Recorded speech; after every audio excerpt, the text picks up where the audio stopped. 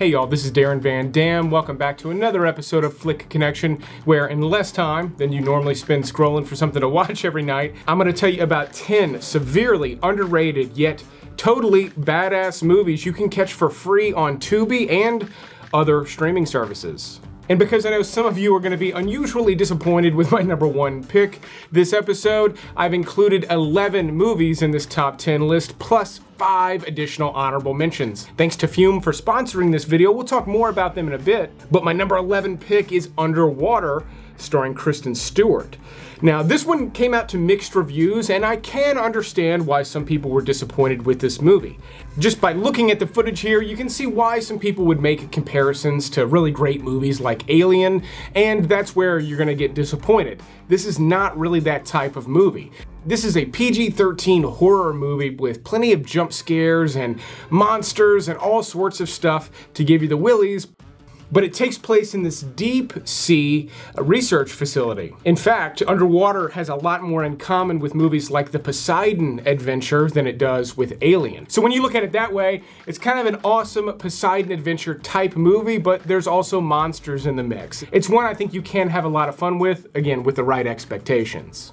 Now, like I said, these movies are all available on Tubi here in the US, but they're also going to be available on other streaming services. If you don't care to watch these movies for free with commercials, there's a good chance some of the titles are going to be on another streaming service you have access to. So always check the top pinned comment in my videos for a comprehensive list. I also include where you can stream these titles in Canada, UK, and Australia because most of them are not going to be on Tubi there right now. Next up, we've got one that actually got pretty good reviews back when it came out, but I feel like time has already forgotten it, mainly because it had a sequel that was kind of ho-hum, but still, the original Don't Breathe is a really intense thriller. You wouldn't quite call this a horror movie, but man, is it laced with horror elements. In fact, it can be pretty disturbing at times, surprisingly so meaning there's some stuff that could catch you off guard in this movie and it's it's it's off-putting to say the least. But you follow some young bandits breaking into what they believe is an abandoned house. But of course, it's not empty. It is occupied by a ruthless blind man, played by legendary actor Stephen Lang, who basically Kevin McAllister's his whole house. The kids can't see what's going on, and there's a lot of surprises in this movie. But again, this one's gonna disgust most of you. Don't Say a Word is kind of a long forgotten thriller. It was kind of big news back when it came out, but that was mainly because Michael Douglas was in a bunch of great thrillers back then, but also because of Brittany Murphy's creepy performance in this movie. She's so good in it. It's one of my favorite roles she ever did. Not the best movie she's in, but certainly one of the like stronger roles that she got. As you can imagine, it's packed with twists, a little bit dated today, but still a fun watch, especially if you don't really remember what's going on. This one's got a lot of mystery to it. Speaking of things you're not allowed to speak about, um, some of us have some bad habits, and one of them is bad enough that we're not actually allowed to discuss it on YouTube. I can't even bring it up, but today's sponsor, Fume, can help you with that. And that's because Fume looks at bad habits in a different way. Not every part of a bad habit is bad. So instead of dramatic, uncomfortable change, why not just remove the bad part of your habit? Fume is an innovative, award-winning flavored air device that does just that. Instead of electronics, Fume is all natural. Instead of vapor, Fume is just using flavored air, and instead of harmful chemical, Fume's only using natural flavors. And that's just it. Instead of bad, Fume is good. It removes the bad part of your habit, allowing you to retain part of it without worrying about inhaling anything harmful into your body. It's also a really nice product. The outside is wood, it's comfortable in your hands, and they worked in multiple little fidgety elements that will also kind of help you take the edge off of that habit. And there's a ton of flavors available, and they're all interesting. For instance, we got sparkling grape, orange vanilla, white cranberry, and raspberry lemon. And that's what the flavor cartridge looks like. They're tiny, they're different colors based on the different flavors. You just stick it right in there, it pops right in, this goes over the top, and you're done. That's how easy it is to load. Again, nothing. There's no vapor, nothing, and you'd be amazed at how much flavor you actually get off of this. So why not break up with your bad habit by picking up the Journey pack today? For a limited time, my viewers will save 10% when they go to tryfum.com slash flick. You can also use this QR code or type in my code flick when you go to tryfume, that's tryfum.com slash Flick. Again, you're gonna get 10% off. It's a great deal, especially if you've got a habit you need to break. But speaking of great stuff, let's talk about the rest of the movies on this list. Now, Nicolas Cage makes maybe 10 movies a year, probably not that many, it's probably half that, but he averages about one solid flick per year out of that high number. And in 2013, his best film was easily Joe. Believe it or not, this is from director David Gordon Green, the same director of Pineapple Express and Your Highness. But Joe is a far cry from either of those movies. This also stars Tye Sheridan and has a lot in common with another film of his I love, Mud, starring Matthew McConaughey. Theme wise, both movies share a lot in common, and you get a fantastic performance from Nicolas Cage that is fairly straightforward. Don't get me wrong, I love wild and zany Nicolas Cage performances, but he chooses to do subtle performances occasionally. Pig was probably his most recent subtle performance, and Joe, I think, is every bit as good. Now, my next one's way over the top, but I think just does not get the love that it deserves. Wanted. This one gets just major points for being just visually stunning from beginning to end and for showing me stuff I've never seen in a movie before. Matrix level stuff in a movie that is definitely sillier than a Matrix movie, but hell, it's way better than the newest one. Not only is Angelina Jolie smoking hot, but James McAvoy was a total badass in this movie. You've also got Chris Pratt who's only in the movie a little bit, but he's really funny in it. This is well before he was a big star. And I mean, the action sequences are just completely unhinged in this movie. Yes, I know you can't really make bullets curve like that. This is a fantasy movie, but for someone who loves action movies as much as I do, this is a really cool fantasy movie. Now, my next pick, I think, was just underrated mainly because of who directed it. I think just critics in Hollywood are never gonna give him love again for obvious reasons, but Nevertheless, Mel Gibson is one hell of a director and he directed one hell of a film with Hacksaw Ridge. Not only did he direct it well, but Andrew Garfield just gives an amazing performance in this movie. He really is one of the stronger actors working today. I think he's got Joaquin Phoenix level abilities and I think we've yet to see him really fully tap into those. Give him another 10 years and I think we'll be blown away by what he can do, and this movie is a good example of it. Not only is he great, Vince Vaughn is exceptional in this film. In fact, the entire cast is great. Now, there are a lot of battle sequences that are brutal, but the overall theme here is wildly different. This is based on a true story. Andrew Garfield actually plays a man who was a conscientious objector to the war. He became a medic and refused to pick up a rifle, and it's an insanely harrowing story.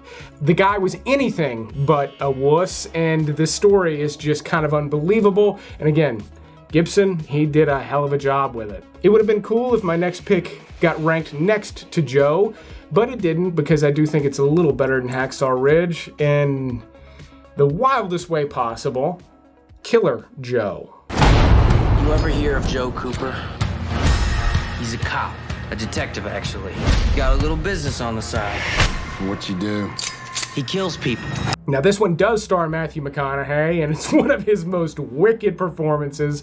Easily one of the most wicked performances a major actor like that has ever done, uh, outside of maybe Joaquin Phoenix in Joker. And this was directed by the late William Friedkin, one of the greatest directors of all time. You're talking in The French Connection and The Exorcist. And while Killer Joe is far from his best work, whoo, this is a this is a wild movie. So the basic setup here is a couple of guys hire a hitman, played by Matthew McConaughey, and he entangles himself in their lives in some really twisted ways. This is based on a stage play, and when you get to the final sequence, it will feel much more like a play. In fact, I cannot imagine people sitting in a theatrical setting watching what unfolds in the last scene of this movie. Who would like to say grace? let's just say you'll never look at fried chicken the same way again. If that sounds like you, definitely check out Killer Joe. If you're easily disturbed, just trust me and stay far away from this movie, as well as my next pick, Slither, written and directed by James Gunn.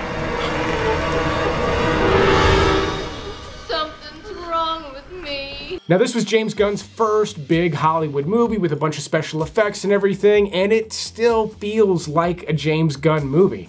In fact, I'd put my favorite movies of his as Slither, The Suicide Squad, Super, and Guardians of the Galaxy in no particular order. This is an alien invasion movie oozing with practical effects. Now, they do use some CGI, but it's a pretty good mix, and you get a lot of slime in this movie. It's also pretty funny the way a James Gunn movie should be. You've got Elizabeth Banks, Nathan Fillion.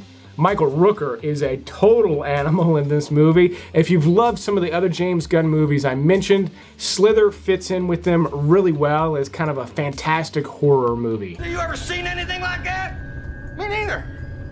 I watch Animal Planet all the time. Now, before we get to my top three, I want to give you five honorable mentions, also on Tubi, also hardcore. Now, Rumble in the Bronx is one of my favorite Jackie Chan movies, or at least one of my favorite American Jackie Chan movies. It goes way over the top in the best way possible and features some of his best stunt work or at least a handful of the stunts in this movie are among some of his best, easily putting this movie in his top 10. I also think Zero Dark 30 is an excellent movie that kind of came and went a little too fast. I realize the subject matter being so raw and real is a little bit much for multiple viewings, but this is also from director Kathryn Bigelow, who was just coming off the success of The Hurt Locker, but she also directed bangers like Point Break and Strange Days, so she's got a really interesting filmography, a lot of action in it, and while Zero Dark 30 is not necessarily packed with action, the entire experience feels incredibly real. Believe it or not, I'm putting striptease in the mix. Yes, striptease. This is a comedy that I think too few people appreciate. And Demi Moore is insanely hot in this movie and has multiple dance sequences that are just beyond breathtaking, but you could Google those if that's all you wanted to watch. The movie itself actually has quite a bit of comedy in it. Why are you all shiny? It's Vaseline.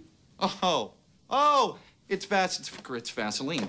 I can feel it squishing between my toes. All right, okay. It's one of Burt Reynolds' funniest roles, but you've also got Robert Patrick doing a really funny redneck character. And yeah, there's some mystery too, but it's not that intriguing. Once you know what's going on, it's not really worth the multiple viewings, but I'm telling you, the comedy definitely is, more so than you would think. Same goes for 30 minutes or less. I understand why this one's underrated. It's actually based on a true story. There's a Netflix documentary about it. And the true story is way more interesting than this movie, but the movie itself itself has got some great comedy actors in it, and they're all doing really funny stuff. Spinning the guns, spinning the guns, spinning the guns for the bank robbery. Cause we're going with our plastic guns and the cops will shoot us in our face. It's also worth noting that Tubi currently has the full John Wick trilogy. Now, I didn't include that on this list, even though those movies are definitely some of the most badass things you can watch on Tubi. It didn't really fit into a list of underrated movies. But my last honorable mention, Keanu, did. Now, this is a 90 minute sketch from Jordan Peele and Keegan Michael Key, and it feels like a Key and Peele sketch. They fall in love with a little kitten who goes missing and they have to rescue him. Super basic setup, but Key and Peele always have a lot of fun with different movie genres, and in this movie, they have a lot of fun with action movie tropes, and it's hilarious for people who love action movies. I don't really recommend this as a movie, but as a 90 minute sketch, it's pretty fantastic, especially if you love action movies like I do. All right, got to break out the shades for my next one John Carpenter's They Live. Now, listen up because I'm about to strongly recommend a cheesy movie. But this movie's not all camp. It's actually got quite a lot to say about the state of the world, or at least the potential state of the world. In this movie, famous wrestler Rowdy Roddy Piper actually plays a drifter who discovers these magic sunglasses, and when you put them on, you can see the world unveiled for what it really is. And it's a world run by evil alien overlords. Now that he can see the aliens and he knows what's up, the first thing he decides to do is pick up a gun And this is not a shoot 'em up movie. Yes, he does shoot up some aliens, but there's a lot more going on. Like I said, it's got something to say, but it's also a wild adventure movie and it features an insanely long fight sequence between Roddy Piper and Keith David. In fact, that fight sequence in particular is so long and so over the top, they actually parodied it on South Park in like one of the first seasons. This is just a total classic from the 80s. It oozes an 80s vibe, and if you didn't pick up on it, this shirt is my They Live shirt. You can actually pick it up at darrenvandam.com slash shop. Not quite my favorite John Carpenter movie. I mean, the guy did Escape from New York, Halloween, and The Thing, but I'd put They Live right behind those three. Now, in a list of hardcore movies, I've got quite a bit of action, but none quite like my next pick, Smokin' Aces.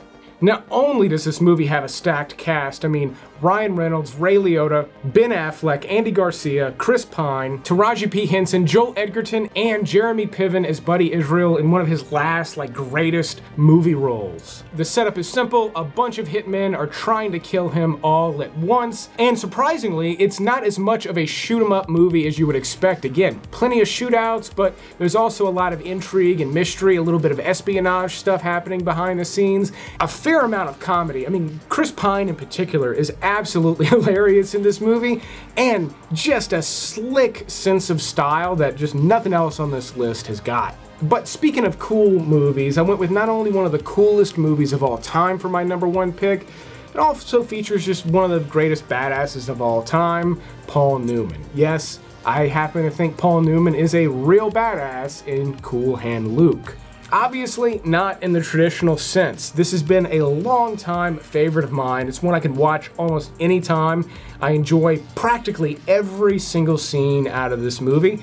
Completely out of context, I think most of the scenes work really well. It's also beautifully shot. I mean, the cinematography in this movie is incredible, especially considering you're spending most of it in this tiny, cramped little jailhouse. You know, there's not a big color palette, there's not big scenery or anything. You're mostly on a dirt road and a jailhouse, and it somehow ends up being this just incredible film with a bunch of great performances, but also some really entertaining sequences, like the boxing sequence and obviously the egg sequence.